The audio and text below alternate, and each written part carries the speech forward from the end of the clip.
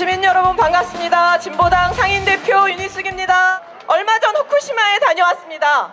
원전 사고로 인해 더 이상 농사를 지을 수 없는 논과 밭 그리고 아무도 살지 않는 마을을 보았습니다. 마을 한켠엔 180여 명의 이름이 가족 단위로 적힌 추모비가 있었습니다.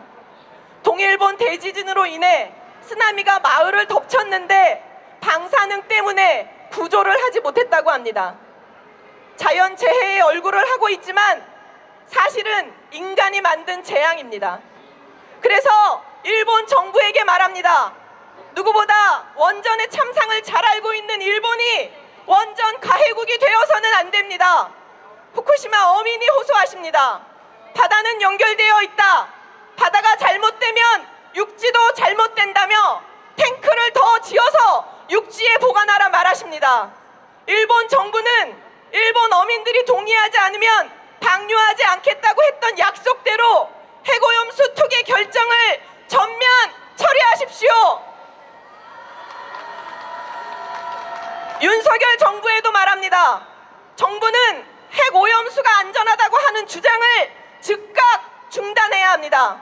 온 국민을 위험에 빠뜨리는 행위입니다. 정부가 광고까지 만들어서 오염수가 안전하다고 주장하면 우리는 이후 후쿠시마산 수산물 수입 거부의 명분도 우리 어민의 피해 대책도 마련할 수가 없습니다. 그렇지 않습니까? 윤석열 대통령은 18일 한미일 회담에서 다른 말 말고 이것 딱 하나만 말하면 됩니다. 우리 국민이 반대한다. 맞지 않습니까?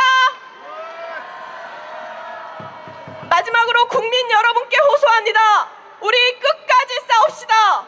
지진과 쓰나미는 우리가 어찌할 수 없지만 방사능은 인간이 만든 것입니다. 그래서 인간이 막을 수 있고 인간이 막아야만 합니다. 우리는 국민을 배신한 정권을 심판한 경험과 그 힘이 있습니다. 우리의 힘으로 우리의 안전을 지키고 우리 어민의 생존권